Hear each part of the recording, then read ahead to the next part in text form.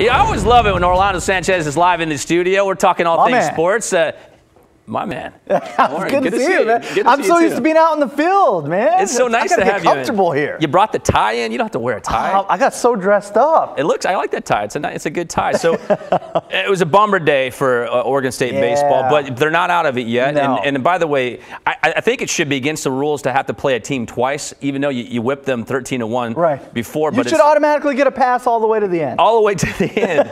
I mean, you're reigning champs. You'd be like, okay, these guys are good enough to keep going. But Yeah. so what happened today? Yeah, so i i- what a difference a few days can make. First playoff loss. Yeah, first playoff loss. They were on a roll, a 23 game win streak, and they ran into an LSU squad that was on a roll. And their pitcher, Alex Lange, he's first round draft pick by the Chicago Cubs, and he killed it today.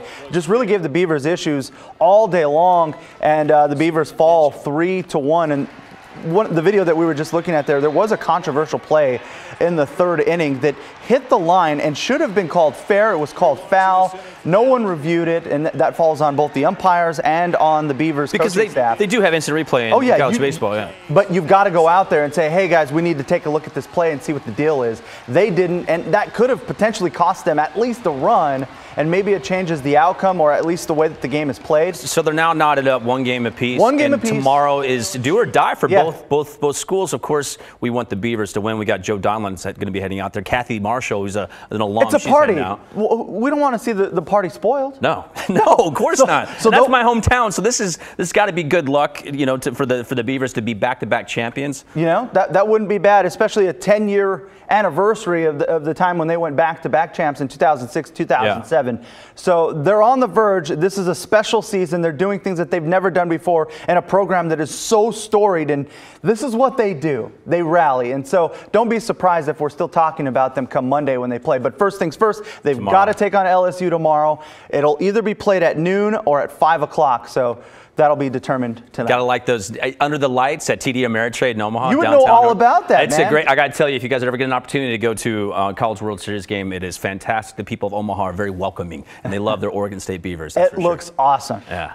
All right, cool. So we go we go from Beavers baseball to Blazers. Woo! Last night was Woo! a big night, and I got to say, Yeah. A plus for the for the Blazers. We got we got the, Dude. the stretch forward, Yes. as uh, Chris, the director, would say, stretch forward. Um, Zach Collins. Zach Collins out of, uh, uh, Gonzaga. Then Yeah. you also have the kid from Purdue. Yeah, we Caleb needed a power forward. So, I mean, come on. Yeah, you know, we were wondering what would the Blazers do. They had three first-round draft picks. That's more draft picks than they had in the last three years combined. And what did they do? They moved into things and had a little bit of action there. So they traded away their 15th and their 20th picks Very to get the 10th pick, and they went with this man. It was a Zach surprise. Collins. Yeah, it- it was because I didn't know exactly what they were going to do, and that's what was the fun part for Blazers fans here in Rip City was the, the possibilities were endless. There were so many rumors and things like that. But Zach Collins, he's a guy that can stretch the floor. He's a big guy. He's a seven footer, 230 pounds. He can shoot from the outside. He can get you buckets. He can put it down. This is something that the Blazers were missing, and they're hoping that he can complement a guy like Jusuf Nurkic, who clogs the paint. The he's just a Bosnian big fella. You so need when that. you have two guys like this, this is just a great complementary piece. You hope that he is someone that they can go to right away. Zach Collins, though, one of the knocks that you'll get on him is he actually came off the bench. Well, he's a young Gonzaga. player too. He's I 19 mean, years old. 19 years old, and Yeah. he's got some time to put some muscle on. He was super efficient, but can he do that i- with the big boys? We'll That's see- yet to be seen. We'll see what happens. Also, we got uh, Caleb Swanigan out of Yes. Purdue, which is he's he's a, he's gonna be another good player. Yeah, and he's a big guy. He's a beast, six eight, and he clogs the paint as well.